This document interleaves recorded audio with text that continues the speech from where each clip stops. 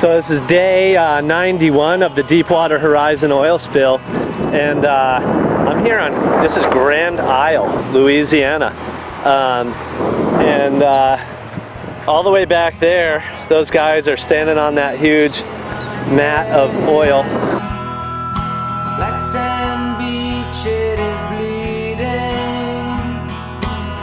I'm in Caminada Pass and all of this right here, all of this dark stuff are thick mats of oil.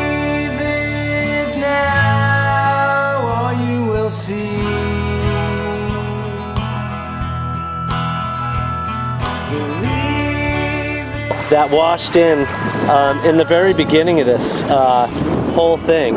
And so right now I'm looking at, you know, uh, a swath that uh, in places is over 20 feet wide and uh, you know at least 40 yards long of oil that in places is six inches thick. You know right here I can't even kick that but that's that is all oil right there. Look at that. That is oil there's sand in there, but for the most part, that is just straight oil.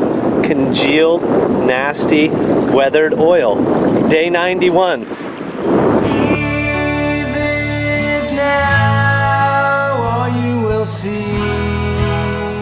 Meanwhile, anybody could catch a fish right here and eat it. Right now, it's totally legal to catch a fish right here and eat it. So here we have this uh, huge bar and mat of uh, oil that's been here uh, for weeks now. Um, was here uh, in late May, came in in the first big wave of oil. Um, just up the beach we've got least terns. Right there, there's a least tern landing in oil that's been left here for uh, I guess uh, we're gonna say six or seven weeks now. There's no public access to this beach and so there's no incentive whatsoever to clean this up.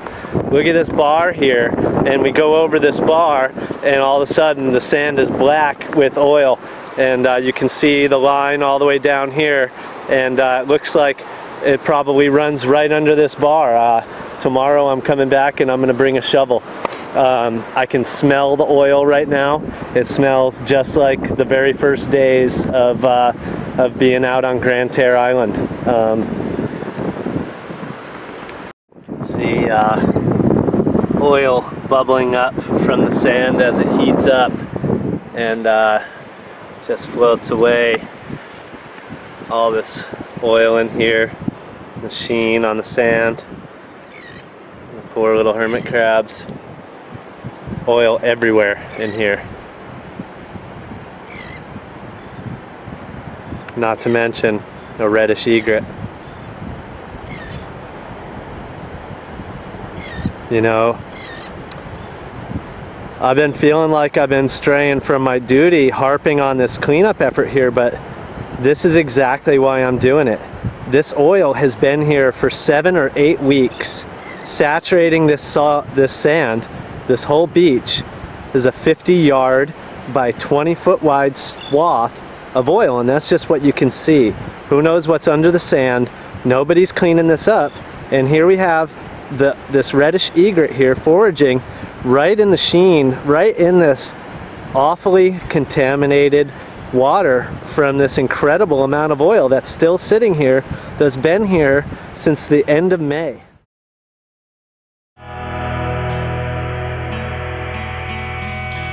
Bye.